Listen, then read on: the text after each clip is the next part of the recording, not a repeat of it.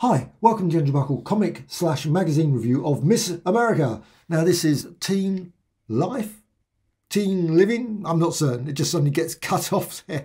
Obviously, if I had a couple other issues, I might be able to tell what it is. However, of course, Miss America was a magazine that had the Miss America from Timely Comics. This is a Timely comic. And April 1946. It was still timely at this point, though you would never be able to tell from this uh, magazine. Got lots of lovely adverts in this. I love the adverts, always great. Lovely picture of a cat there as well. Can't beat that. And weirdly, it is, it says here, Miss America magazine by Miss America Publishing Corporation, 4600 Diversey Avenue, Chicago, no less.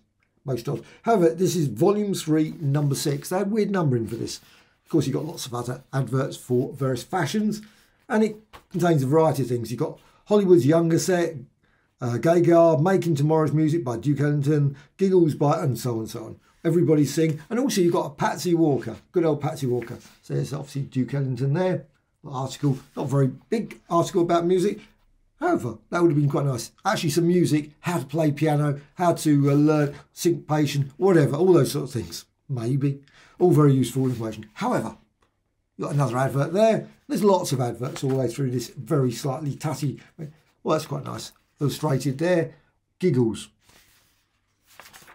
And another sort of pictures there. And let's go to the pages are actually quite slippery.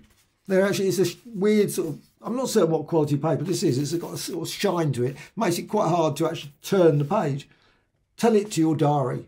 Obviously got an illustration there as well. Do you keep a diary? I do.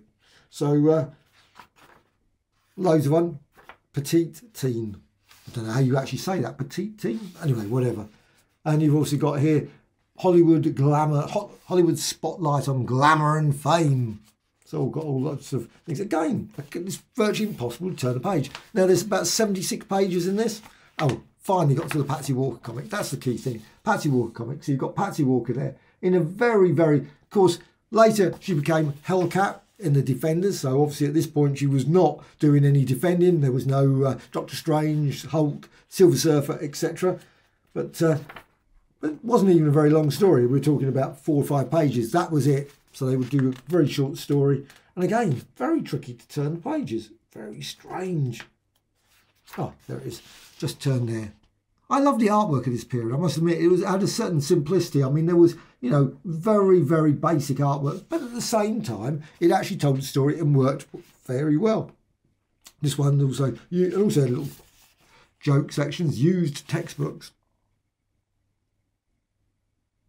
It's got to be very old. I want the professor to think I, oh, don't know, no idea. I'm certain it's uh, for girls only, and you've also got lots of other. What's been modern? Out of the mailbox. you've obviously people's letters pages, etc. Uh, Jane Withers picks a star.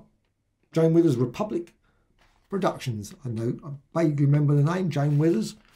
And you've got other ones there, Miss America's Pen Pals. I love this one, Pen Pals. Got a long list of pen pals, all the names, etc. And their addresses. That would not happen nowadays.